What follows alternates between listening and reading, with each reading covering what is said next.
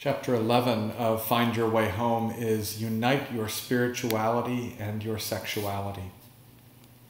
Psalm 139 sings, O Lord, you have searched me and known me. You know when I sit down and when I rise up. You discern my thoughts from far away. And then, for it was you who formed my inward parts. You knit me together in my mother's womb.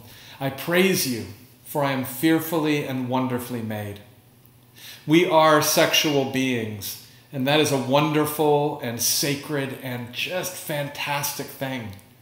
We have been given these bodies that are fearfully and wonderfully made, and we have been given the ability and even the compulsion to rejoice in them, to rejoice in our own bodies, to rejoice in each other's bodies.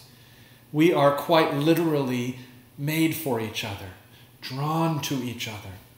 And we know that because the exercise of our sexuality can be some of the most deeply meaningful and intoxicatingly electric pieces of our lives. And we also know that because our sexuality touches the deepest parts of us.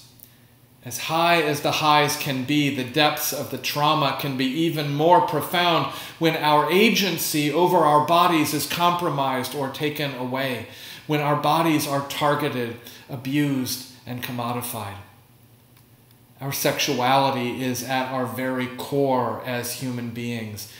And yet, for nearly 2,000 years, the church has primarily been a place that has condemned our sexuality and, at the very least, has assumed a, a don't ask, don't tell attitude toward it.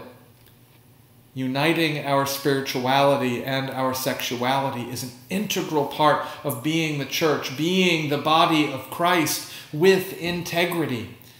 It means we must become a safe place for us to talk about our sexuality, our joys and our struggles with it, and to talk without shame.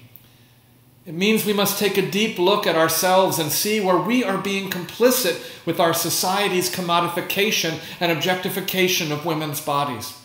It means we must become a community where consent to physical touch is honored at all times. Because even what might seem to us a friendly hug offered at the peace is an act of violence if it is not welcomed by the other person. For nearly 2,000 years, the church has kept our sexuality in the darkness and the holiness of communities like Magdalene shows us what can happen if we bring it into the light. We can claim ourselves again, claim our agency over our bodies, claim the joy of being sexual beings made in the image of God, claim the mission of honoring that in ourselves and in one another.